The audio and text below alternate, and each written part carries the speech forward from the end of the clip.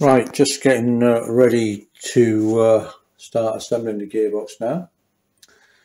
Um, we've already got the main bearing in and the new, we've got a new uh, uh, roller, needle roller bearing on for the back of the lay shaft and there's there's one for the other end that we'll put in later on.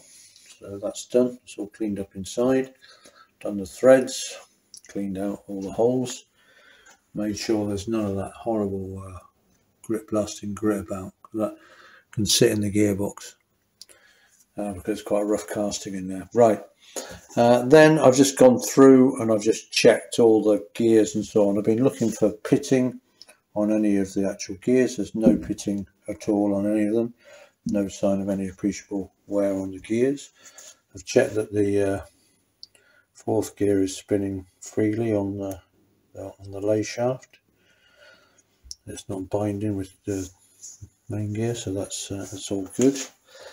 Uh, yeah, all the gears are good. We checked. Um, I think we checked the uh, level of play on the uh, thrust uh, on the lay shaft before we dismantled the box, the end float, uh, and established that that was fine. So we've got the still got the original thrust washers that go either end of the lay shaft but obviously when we assemble the gearbox we'll double check the uh, the end float. Um, so we've got the main the high gear and this has got two needle roller bearings inside it. And they're both absolutely fine and they're a complete pain to uh, replace so we'll leave them as be. Excuse me. And then there's uh, the old oil seal and the new oil seal that goes in the end I'll be putting the new oil seal in a minute. That's all okay. We've checked the cam wheel. I've had problems with cam wheels. Uh, excessive wear on the edge. This one seems okay. Obviously, the main place to tend to look is the um, sort of first, second gear, uh, neutral, where things tend to wear, but it all looks fine to me. And also the grooves, where the uh, selector forks uh, operate from. They look fine and the teeth on the uh, cam plate all look fine. So that looks all okay and it's flat. It's not warped at all. Main shaft all looks okay. However, strangely, I found a couple of damaged threads. Focus, please. Focus, please. I wonder where the focus. There we go. There we go. There. There's a couple of damaged threads there. Look, yeah, I've got it now. Uh, I think that won't affect us. Um, I think about how on earth that's happened, I don't know. Because this is sort of like hardened steel, but I think someone's had a, a right go at that with something. But I think we'll be fine. That's the, um, I don't, you know, I think the nut that goes on the end will actually, um, won't actually go on that far but it'll be Loctited and it'll be and it'll have a uh, lock tab on it so I think we're fine. Uh, then I've expected inspected the actual selector forks for wear and these two look okay but this one is showing definite signs of of wear which is strange because this is the fourth and fifth gear or the fourth gear yeah fifth gear selector which you would expect to have the least amount of use um, but I'm not sure. Uh, no, I'm just sorry. I'm thinking why there was that wear on it, and, and, and, unless it wears with the bike running, you know, even without changing gear, just with the gears spinning, it might, you know, they might rub on it. Anyway, I've ordered a new uh, selector fork because I think that play, uh, that wear is just too uh, too excessive. We'll compare it with the new one when that arrives it seems to be worn on both sides. Uh, so apart from that, everything, uh, we've got the circlip here for the lay shaft. Everything's uh, okay and, and ready and all okay to, to be assembled. So, uh, but I'll fit that oil seal in the end there. Don't forget open side towards the oil. So in this case, the open side will be inwards because that's the, this end is the inside of the gearbox and this end goes towards the primary chain goes okay so that'll be the, open face will be inwards in this case Okay, so uh, we'll wait for this uh, new selector to arrive and then we'll be assembling the gearbox.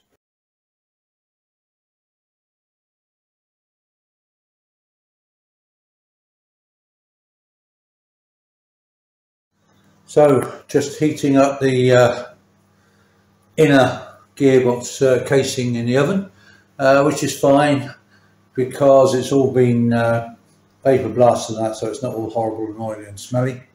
So uh, uh, I'm not I'm not worried about making myself unpopular in the kitchen. Okay, I'm probably going to do it up to 180. I think basically the because that's what you do everything at, isn't it? 180. Um, basically, I think the hotter you get it, the better. Uh, so, uh, and it's best, if you can do things in the oven, it is best than using a blowtorch or whatever, better for the metal and, uh, and the whole thing works better. So uh, what we'll be doing when we uh, get this out of the oven, we'll be putting in the outer lay shaft bearing, no, no, uh, the, yeah, the outer lay shaft needle roller bearing and the outer main shaft bearing. Okay, we've got the uh, casing out of the oven. We've got the uh, original uh,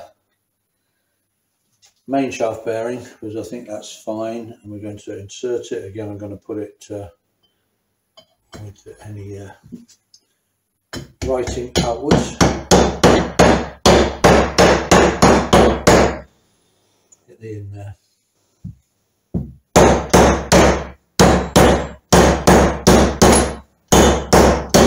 There we go.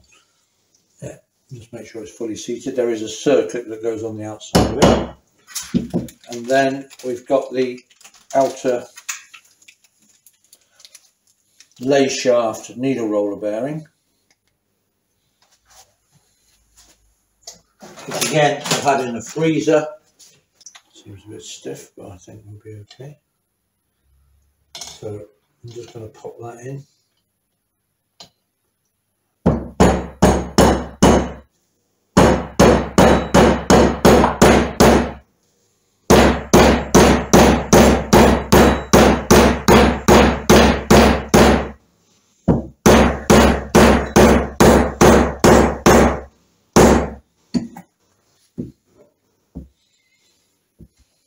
There go.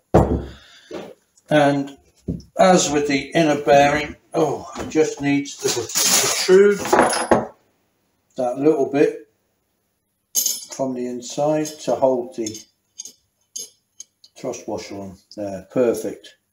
So, yeah, with this one, basically, if it's flush on the outside, then you know it's the right distance on the inside.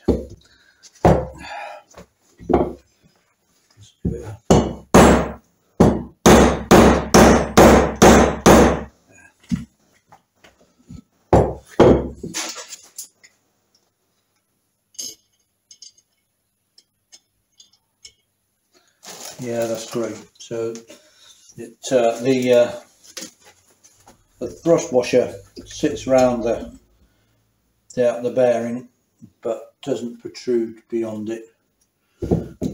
Yeah. And uh, then we've just got a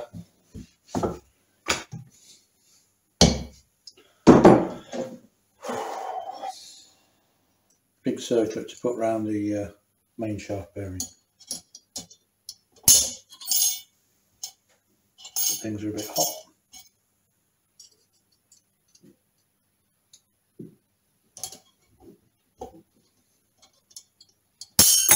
Woohoo! Yeah, that could be uh, could be interesting doing this one. I think I might have to leave it down. I might have to leave it until the casing is uh, cooled down.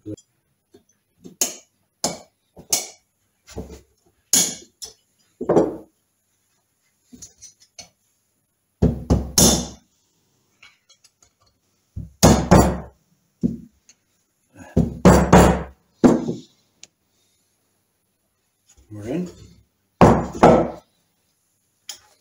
Double check that one. Yeah, good. Yeah, they're all in.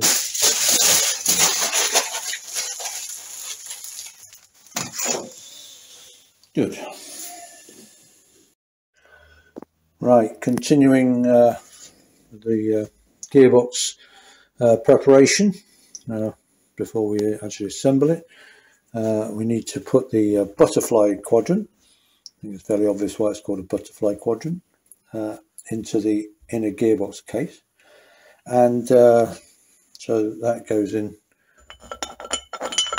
there, and then there's this pin that goes across that holds it in place, and it's held in place with a couple of split pins.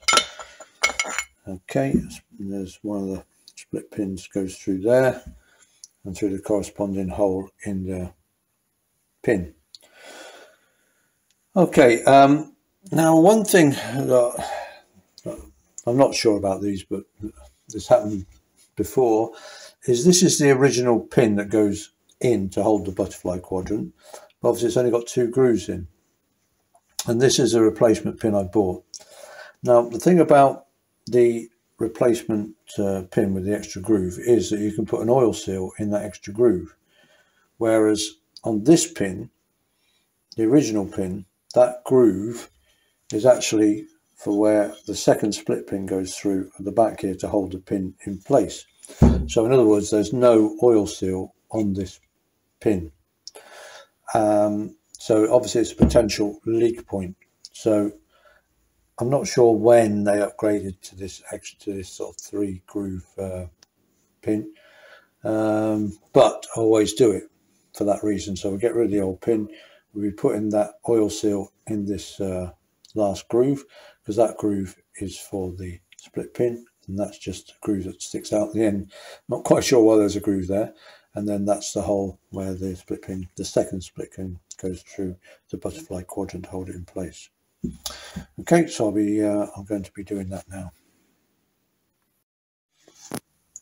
Okay, so that's the quadrant now in place, held in place with a split pin there. It can only go in one way around the quadrant because uh, if you get the wrong way around, the, the holes won't line up with the pin. And that's the back uh, there with the uh, second uh, uh, split pin in, and there's that extra groove, which we don't really know why it's there. Oh, I suppose it helps you pull the pin out. That's about it. Right, so that's both the inner and outer casing now uh, prepped. And so we can actually um, get on and start rebuilding the gearbox.